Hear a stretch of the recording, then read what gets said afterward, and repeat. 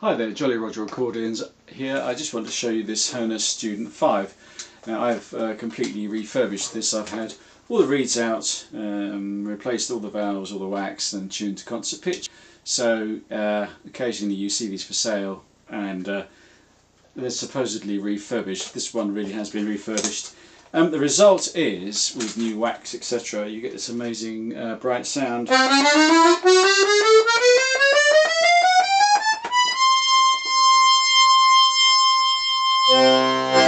And you've got four voices on the left so you've got this lovely powerful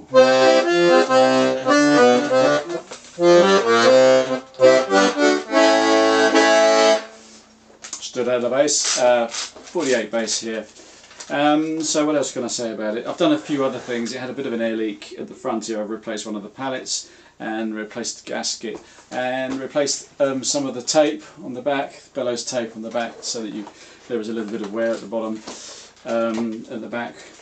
Um, I think this is probably about I don't know maybe 50 years 45 50 years old but with the with the refurbishment that I've done to it it's going to be good for another 30 40 years I'd say yeah. So uh, anyway I'll just give you let me just give you an example of what it sounds like